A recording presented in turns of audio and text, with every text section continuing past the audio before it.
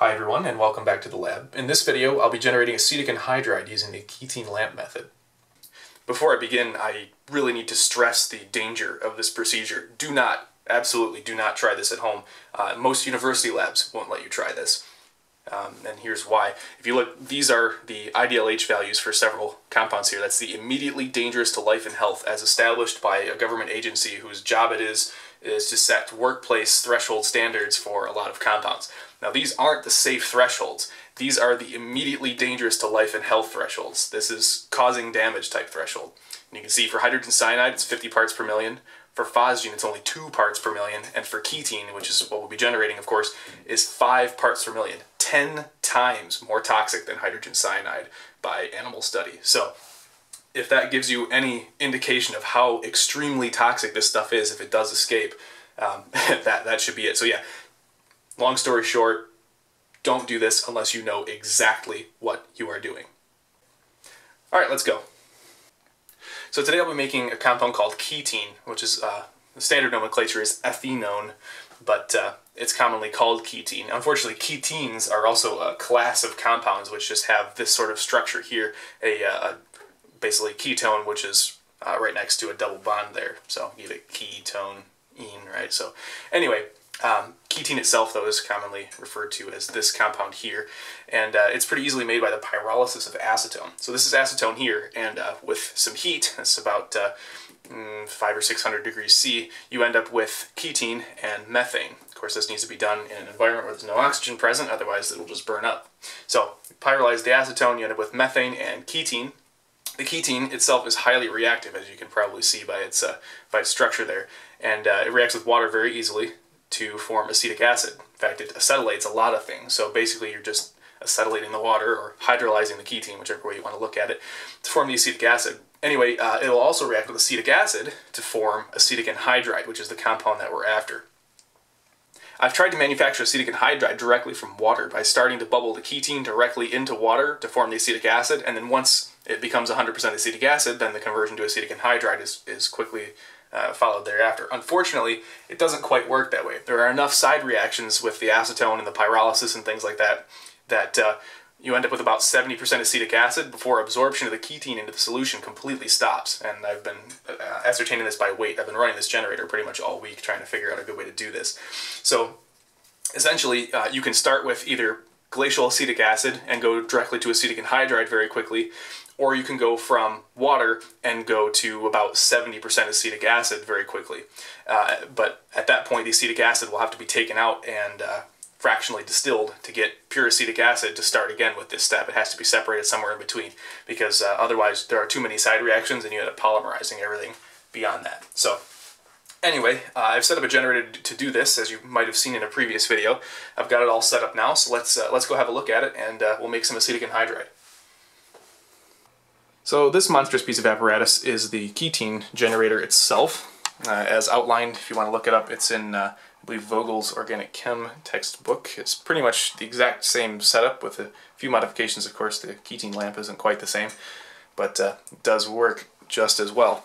So essentially there's a heating mantle here which refluxes acetone. That is acetone. Those are degradation products from the filament and the copper wires. I'll get into that in a second.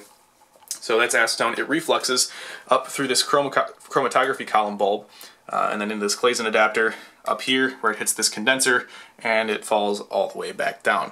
Now in the, in the middle here, of course, it has to pass this filament, and this filament is heated uh, quite hot to uh, about red heat, which in Fahrenheit is like 1500. That's probably like maybe six or 700 Celsius.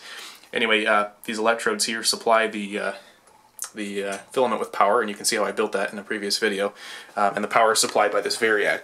I've found for the length of nichrome I'm using, 40-ish volts works just fine. It's a 20 amp Variac, so I'm not really worried about burning anything out. Anyway, the uh, acetone is of, course, is of course returned by the reflux condenser here, but the ketene, having a much lower boiling point, and same thing with the methane, passes the condenser and ends up up here. And uh, it travels down this Graham condenser here, which is a really efficient condenser, and this is to strip any remaining bits of acetone vapor and stuff like that out. And you can see it does collect some pyrolysis products of uh, you know diketene and things like that. Ketene is actually photosens photosensitive, so uh, you kind of want to run this uh, out of direct sunlight. Otherwise, you'll end up with a lot more pyrolysis products than uh, than normal. Anyway, the finishing condenser strips out any of the, uh, the heavier impurities and so you're left with nothing but the ketene and methane coming out this tube here, where it gets bubbled into a uh, flask of whatever you want, which is not shown here, of course, but will, in short period of time, be uh, acetic acid. So anyway, uh, I'm going to set this up. The first thing to do is to uh, get the acetone refluxing, because of course you can't turn the filament on without uh, blowing everything up unless you have this entire thing filled with acetone paper. Very, very important, right? Because there's oxygen in there now.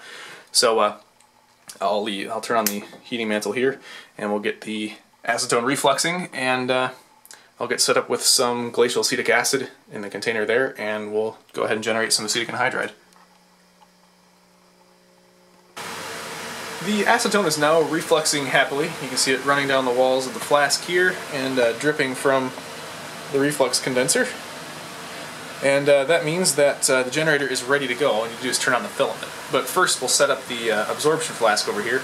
I've uh, weighed out 30.9 grams of uh, commercial glacial acetic acid, um, which is sort of essential for reasons I've mentioned before, how uh, starting from water is kind of a pain unless you do a distillation in the middle. But I showed how to make acetic acid before, so we'll start with glacial acetic acid. It's at 30.9 grams, and this should absorb ketene until it weighs 52.5 grams, at which point it will be uh, purely acetic anhydride. So uh, do the absorption here.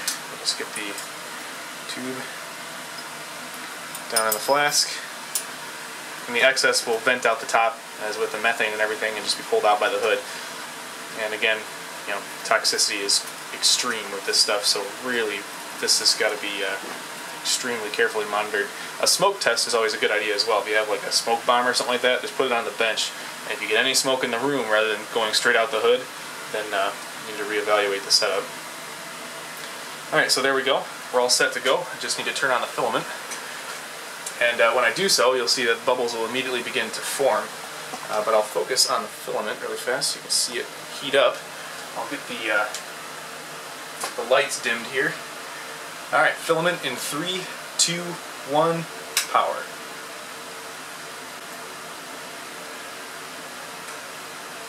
And there you go. You can see it's uh, happily glowing a dull red color. It shows it more purple on the camera because the camera picks up a lot of IR.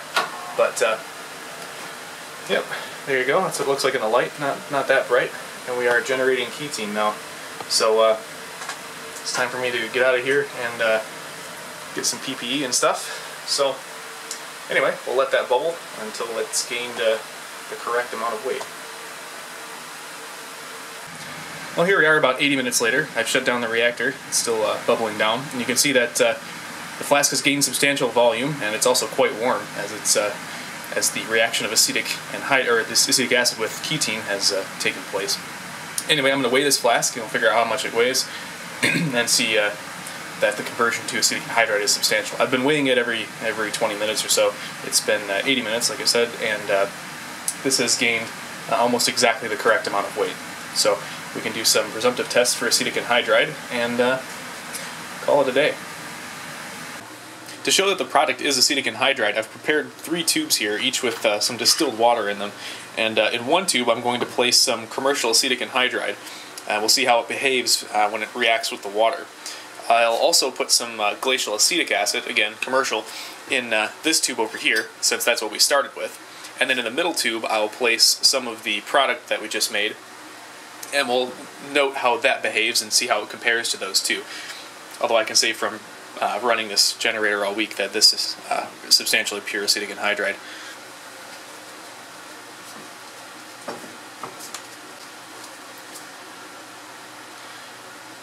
So first anhydride to the water, and you can see it goes straight to the bottom and uh, sort of layers out. See it down there? Now acetic anhydride uh, doesn't hydrolyze that rapidly in cold water, so you can see it'll actually form a separate layer, uh, but that after about 10 minutes will, uh, will have gone away.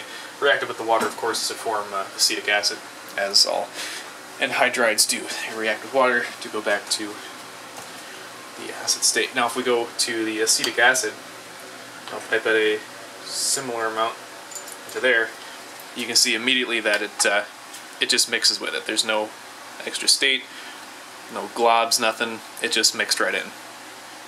So, if this is uh, acetic acid still, it should mix. If it's a portion of acetic acid, a portion of it should mix. And if it's acetic anhydride, it shouldn't mix at all. So, let's uh, do a presumptive test here.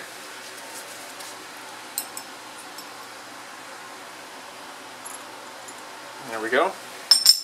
And as you can see, it's shot straight to the bottom in little globs. And now there's a blob on the bottom. Showing that that is substantially pure acetic anhydride. And in fact, uh, like I said from earlier in the week, distillation has proved that. I've gone ahead and uh, run this through a fractionated column to see if I can strip any acetic acid out of it, but uh, there really wasn't much in there. So, and it gained uh, like 101.4% of the uh, of the weight that it should gain to be uh, fully converted, which makes sense because this is 99.7% acetic acid. So, anyway, works out really well. It's kind of a dangerous process, but uh, if you need acetic anhydride, there you go.